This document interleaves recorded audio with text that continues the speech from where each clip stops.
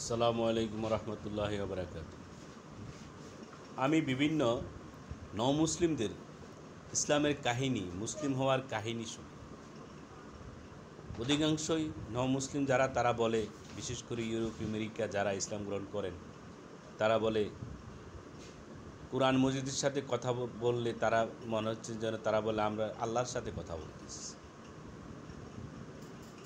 আর তারা প্রত্যেকটি বিষয়কে তারা কোরআন মজিদ পড়ার মাধ্যমেই তারা তা এই সত্যের ধর্মকে খুঁজে পেয়ে, পেয়েছে। অথচ আমাদের দেশে আমরা এই কোরআন গ্যাস অবহেলা চোখে আছে আমাদের কাছে।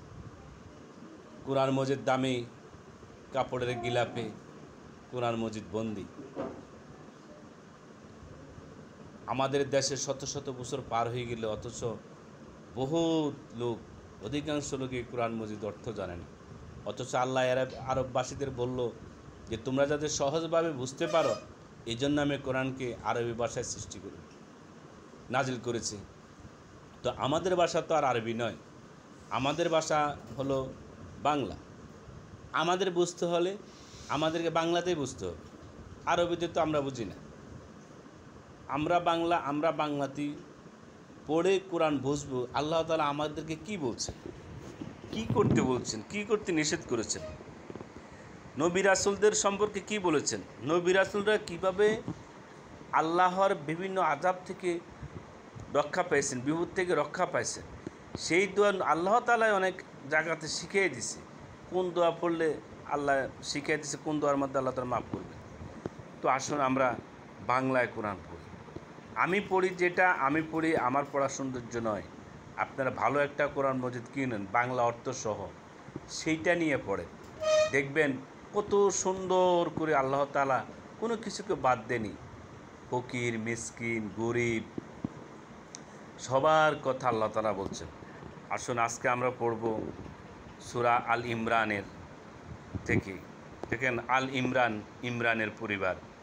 সেই আল ইমরান থেকে কিছু আয়াত বাংলা পড়ি। বিসমিল্লাহ রহমান রাহিম আলিফলাম মিম। আল্লাহ ছাড়া কোনো উপাস্য নাই। তিনি চিরঞ্জীব সব কিছুর ধারক। তিনি আপনার প্রতি কিতাব নাজিল করেছেন। সত্যতার সাথে, যা সত্যায়ন করে পূর্ববর্তী কিতাব সমূহের মানে তিনি আল্লাহ বলতেছেন যে যে রাসুল সাল্লাহ সাল্লাম মানে রাসুল সাল্লামের প্রতি কিতাব নাজিল করেছেন, যা পূর্ববর্তী কিতাব সমূহকে সত্যায়ন করে। নাজিল করেছেন তাওরাত ও ইঞ্জিল এই কিতাবের পূর্বে, অর্থাৎ আল কোরআনের মানুষের হেদায়েতের জন্য এবং অবতীর্ণ করেছেন মীমাংসা। নিঃসন্দেহে যারা আল্লাহর আয়াতসমূহ অস্বীকার করে, তাদের জন্য রয়েছে কঠিন আজাব আর আল্লাহ হচ্ছে পরাক্রমশালী, প্রতিশোধ গ্রহণকারী। আল্লাহর নিকট আসমান ও জমিনের কোনো বিষয় গোপন নাই। সুবাহান আল্লাহ তিনি সেই আল্লাহ যিনি তোমাদেরকে আকৃতি গঠন করে করেন। তিনি সেই আল্লাহ যিনি তোমাদের আকৃতি গঠন করেন মায়ের গর্ভে, যেমন তিনি চেয়ে- চেয়েছেন। তিনি ছাড়া আর কোনো উপাস্য নাই। তিনি প্রবল, পরাক্রমশালী, প্রজ্ঞাময়। তিনি আপনার প্রতি কিতাব নাজিল করেছেন। তাতে কিছু আয়াত রয়েছে, সুস্পষ্ট। সেইগুলো কিতাবের আসল অংশ। আর অন্যগুলো রূপক। সুতরাং যাদের অন্তরে কুটিলতা রয়েছে, তারা অনুসরণ করে ফিতনা, বিস্তার এবং অপব্যাখ্যার উদ্দেশ্যে তন্মধ্যেকার রূপ, রূপকগুলো। আর সেগুলোর ব্যাখ্যা আল্লাহ ব্যতীত কেউ জানে না। আর যারা জ্ঞানে সুগভীর, তারা বলে, আমরা এর প্রতি ইমান এনেছি। এইসবই আমাদের পালনকর্তার পক্ষ থেকে অবতীর্ণ হয়েছে। আর বোধশক্তি সম্পন্নেরা ছাড়া অপর কেউ শিক্ষা গ্রহণ করে না।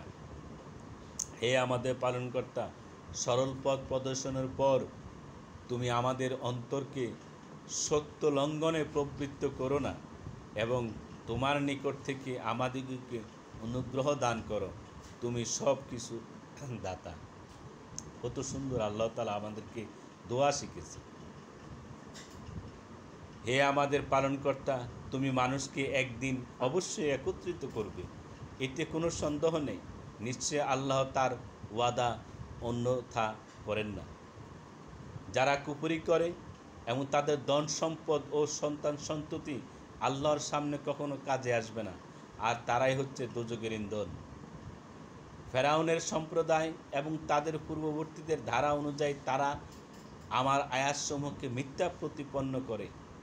করেছে, ফলে তাদের পাপের কারণে আল্লাহ তাদেরকে পাকড়াও করেছেন আর আল্লাহর আজাব অতি কঠিন। কাপের দিগকে বলে দিন, খুব শীঘ্রই তোমরা পরাভূত হয়ে হয়ে দুযোগের দিকে হাঁকিয়ে হাঁকিয়ে নিত হবে, সেটা কতই না নিকৃষ্টতম অবস্থা।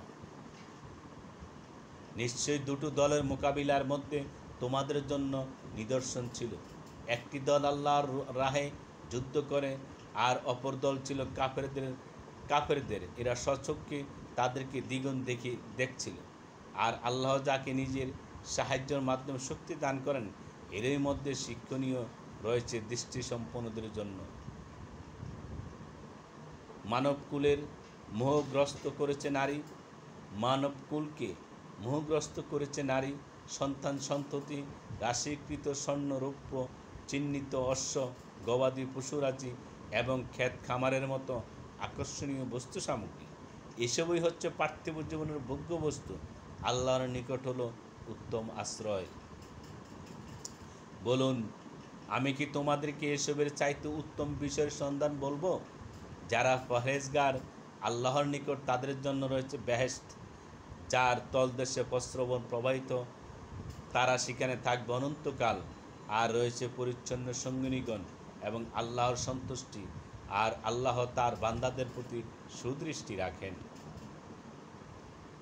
যারা বলে, হে আমাদের পালনকর্তা, আমরা ইমান এনেছি, কাজে আমাদের গুনাহ ক্ষমা করে দাও আর আমাদেরকে দোজকের আজাব থেকে রক্ষা করো। তারা ধৈর্য ধারণকারী, সত্যবাদী, নির্দেশ সম্পাদনকারী, সৎপথে ব্যয়কারী এবং শেষরাতের ক্ষমা প্রার্থনাকারী। আল্লাহর সাক্ষ্য দিয়েছেন যে তাকে ছাড়া আর কোনো উপাস্য নেই। ফেরিস্তাগণ এবং ন্যায়নিষ্ঠ জ্ঞানীগণও সাক্ষ্য দিয়েছেন যে তিনি ছাড়া আর কোনো ইলা নেই। তিনি পরাক্রমশালী, প্রজ্ঞাময়।